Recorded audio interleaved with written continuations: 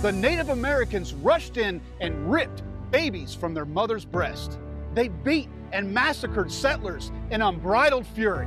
It was one of the worst massacres in all of the Revolutionary War. And those that survived were in for years of misery. Hey everybody, this is Russ Carson Jr. with Family Tree Nuts, and I'm at the graveside of Captain Isaac Ruddle. And we're in Stonermouth Cemetery in Ruddle's Mills in Bourbon County, Kentucky. The story here begins in 1775 when John Hinkston led about 15 families to settle here in the area. This was the same year that several other historic stations were founded in central Kentucky, including Fort Boonesborough. The station they built was on a flat ridge above the south fork of the Licking River.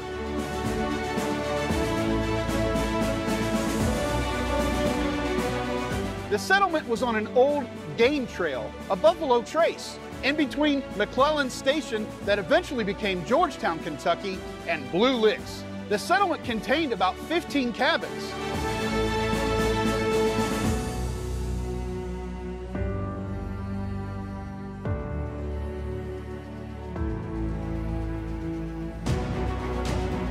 In 1776, they built a blockhouse with the help of none other Simon Kenton and Thomas White. But later in the year of 1776, the pioneers were forced to leave the station due to Native American attacks in the area.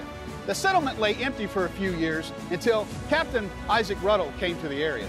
Isaac Ruddle was born in 1732 in the German settlements of Pennsylvania. He later moved to the Shenandoah Valley in Virginia. In 1775, he came with his family and his wife's family, the Bowmans, through the Cumberland Gap to settle at Fort Boonesborough. Fort Boonesborough was in its infancy, being founded by Daniel Boone just a few months prior. Isaac joined the militia, and they were tasked with defending the early settlements on the frontier. In 1778, he was part of George Rogers Clark's Illinois campaign against the Native Americans. He was in charge of the stores and supplies on the Corn Island settlement at the Falls of the Ohio. That settlement eventually became Louisville, Kentucky.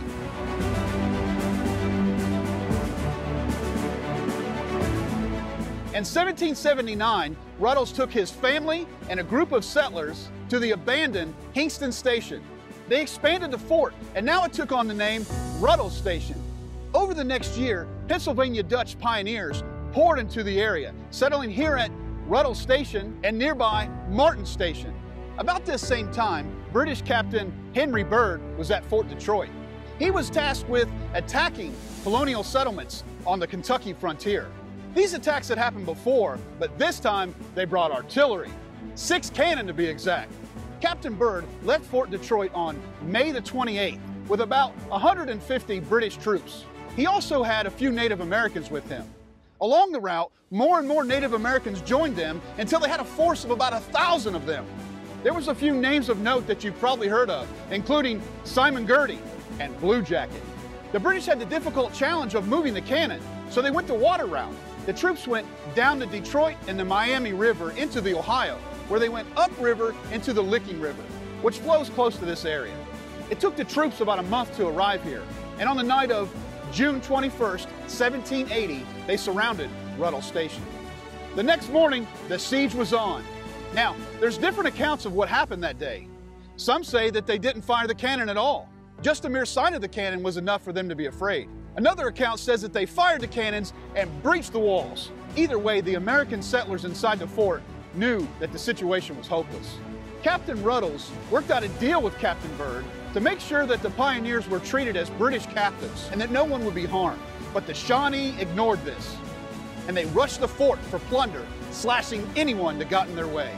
Byrd himself later wrote, They rushed in, tore the poor children from their mother's breast, and killed and wounded many. Captain Ruddle's three year old son was one of the ones that were murdered. And it is said that 20 souls perished in that ruthless, vicious attack. Now, I'd like you to take just a second and let that scene sink in. Too often, these are the things that our pioneer ancestors had to deal with. We can't even comprehend that today. The group of British and Native Americans were now ready to attack the next fort, Martin Station. But before they did, Captain Byrd negotiated with the Native Americans to make sure that any prisoners would be handed over to the British and not killed like they were here at Ruddles. Martin Station was just a few miles away, and they had heard the gunfire and the cannon shots, and they knew that something was coming. The settlers at Martin Station surrendered without a shot being fired. And then a small band of Native Americans split off to attack Grant Station, which was burned to the ground and three settlers were killed. They had their eyes set on Lexington, the largest settlement in the area. But Captain Byrd convinced them that their supplies was too low and they had too many prisoners to handle already as it was. And it was time to head back to Fort Detroit. Now began the horrific journey to Fort Detroit. The British and Native Americans had taken about 470 American prisoners. And those that were too young or too old or too sick to keep up were viciously killed along the way. The further they went, more and more Native Americans split off from the group, and they often took several prisoners with them. By the time the British arrived at Fort Detroit, they had lost about a third of their captives. The settlers left at the pioneer settlements in Kentucky were now in tremendous fear, and many of them attempted to go back home.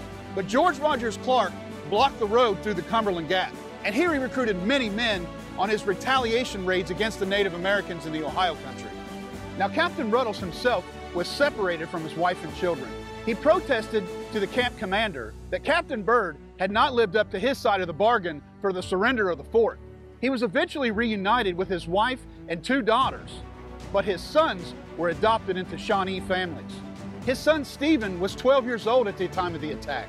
He was adopted into the family group of the Shawnee Chief Blackfish and lived as a brother to Tecumseh.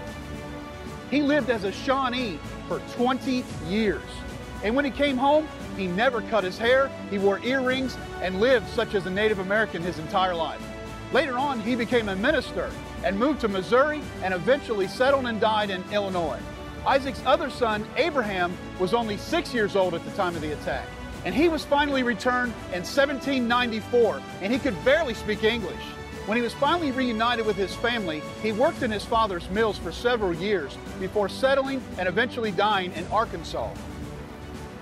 Isaac and his family, with the other settlers, were finally released at the end of the Revolutionary War in 1782. The family returned to Virginia, but Isaac actually faced charges of treason for his relationship with the commandant at Fort Detroit. Many said that Ruddles collaborated with the Commandant, and his relationship was a little bit too close, and it was probably due to the fact that both men were Masons. Luckily, Ruddles was acquitted of those charges. In 1783, Ruddles wrote down his account of what happened at the siege of Ruddles Station. And this account is very valuable to all of us today to know what happened here. The Ruddles family moved back to Bourbon County in 1784. And in 1788, he built a grist mill right here in this area. In 1795, he built a sawmill. His son Abraham ran the sawmill until he moved to Arkansas. He also donated land for the Stonermouth Church and Cemetery, and that's where we are today.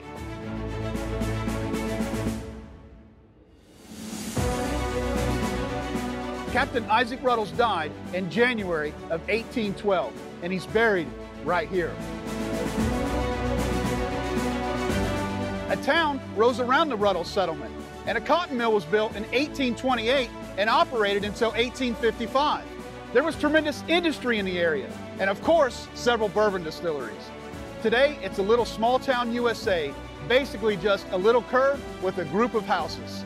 So, here we are at the graveside of Captain Isaac Ruddle, the founder of Ruddle Station, the site of a horrific event in American history that most people probably have never heard about but definitely one we should never forget.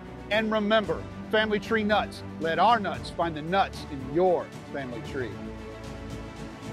Like what you see? Make sure you follow us on Facebook, Instagram, and Twitter. And subscribe to our YouTube channel. Don't forget to click the little bell so you get notifications as to when we post new videos. And you can find out more about us and contact us at familytreenuts.org.